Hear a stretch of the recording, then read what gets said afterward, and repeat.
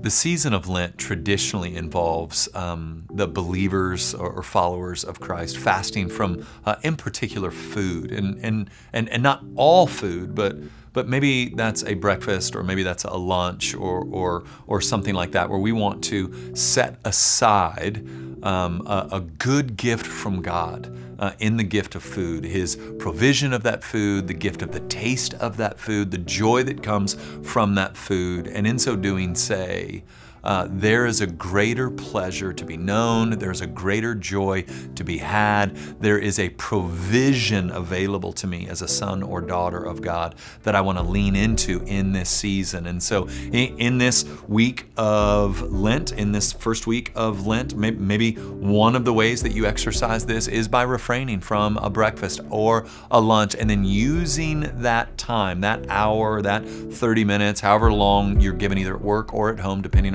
how you do it, um, to pray, to consider, to read the text in the Seasons Guide, and to orient your heart around